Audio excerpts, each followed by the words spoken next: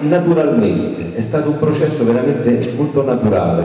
Margaret ha cominciato a scrivere Non ti muovere e io sono stato, come dire, ho avuto il privilegio di essere il primo a, a leggere quelle pagine. Quelle pagine uscivano calde, come dire, dalla, dalla stampante. Il primo a raccoglierle e leggerle sono stato io, che ho avuto anche come dire, la possibilità di essere in fondo il primo editor di quelle pagine. E mi ricordo che dandole questo aiuto nel tagliare alcune parti e così via, perché la, la, scrittura di Margaret è una scrittura fluviale, lei pubblica 300 per scriverne 900 di pagine, le altre 600 vanno, vanno appunto coltivate, tagliate, cambiate, spostate e così via. E inconsciamente, credo all'inizio, ho cominciato a vedere questa scrittura fatta naturalmente di parole, ma parole che si facevano spesso prima che guardare che, che leggere. Una scrittura molto, molto, visionaria, molto visiva, quasi odorosa per certi versi. Eh, e allora ho, cominciato a pensare nella prima fase senza neanche accorgermene, senza neanche rendermi conto all'idea del film. E poi oh, ho scritto la sceneggiatura da solo Margaret disse fai quello che vuoi, prendi il libro, strappa le pagine che non ti piacciono, fai come ti pare.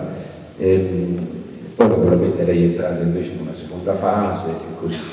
Poi è cominciato il cammino straordinario di mettere i visi, le facce, i corpi eh, al posto del, di, quei personaggi di Timoteo, di Italia e così via.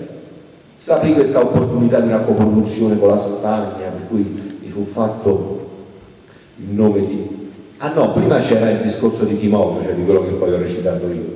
E inizialmente io non volevo neanche recitare dentro, volevo, pensavo un attore, eh, pensavo che Timoteo fosse un personaggio che avesse qualcosa di, di molto freddo, di molto clinico dentro, come di bloccato, e quindi avesse bisogno di un attore, ehm, come dire, più, più misurato, più anglosassone, più...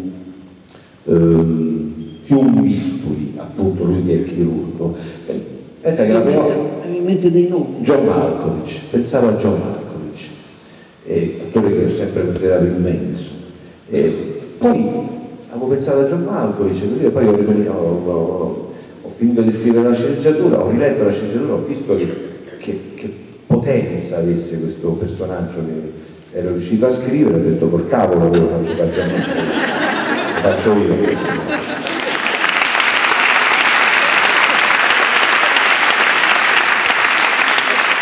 Poi è nata vivendo per la, la, la Penelope, Penelope ha attraversato quel film illuminando questo personaggio, eh, umilmente mettendosi a disposizione di questa cosa dell'imbruttimento e così via, capendo bene che quella era una chiave davvero come dire, vincente per quel personaggio.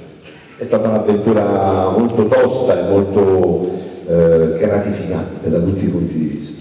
Eh, non c'è dubbio che Penelope Cruz, appunto, insieme a, a, te, è poi il cuore del, del, film. Ma io sono rimasto, mi è capitato di vederlo anche questa mattina, emozionato e colpito dalla prestazione di Claudia Gerini, che ha un piccolo ruolo, ma secondo me la cosa più bella che ha fatto al cinema Claudia forse è proprio questa. Claudia ha fatto una cosa molto bella, faceva la moglie Elsa.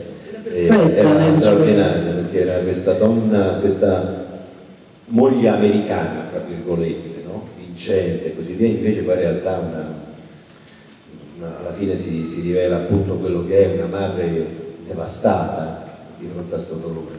Sì, anch'io credo che Claudia abbia fatto una delle cose più belle. Ah, ci sono attori che poi sono diventati attori straordinari, c'è Marco Giannini, c'è Pietro De Silva, insomma c'è un cast. Vi ricordate la scena di quel ragazzino che sta mangiando le mani del padre dice non ne posso più, lo lascia, quello è Pietro, mio figlio. Una volta di una volta di più.